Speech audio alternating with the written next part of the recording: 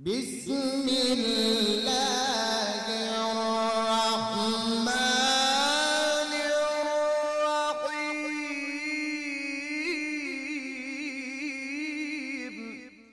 When we want to stop at a word, we need to look at the last letter of that word.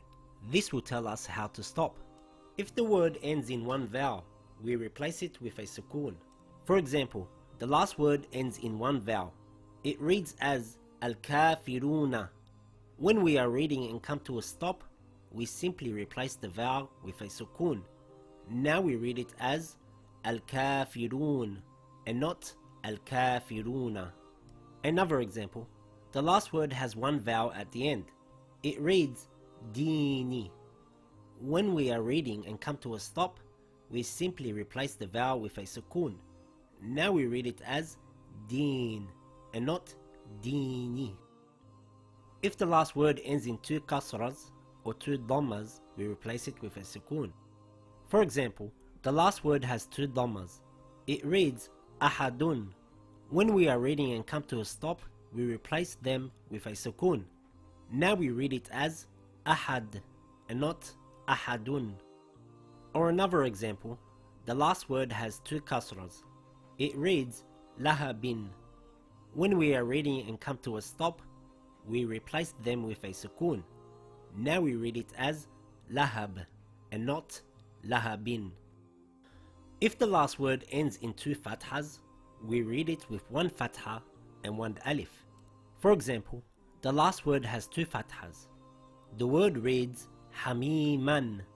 When we are reading and come to a stop, we read it with one fatha and one alif. The alif is already there for us. Now we read it as hamima and not hamiman.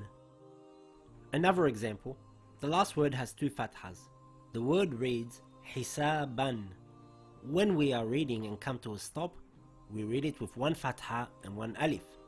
Now we read it as hisaba and not hisaban. In this example, it has two fathas. The word reads nida'an. We said when we are reading and come to a stop, we read it with one fatha and one alif. Where is the alif? The same rule applies here. We simply place the alif in its place and read it with one fatha. Now we read it as nida'a. If the last letter ends in a round ta, we change it to a ha and put a sukoon on it. For example, we see a round ta at the end of a word.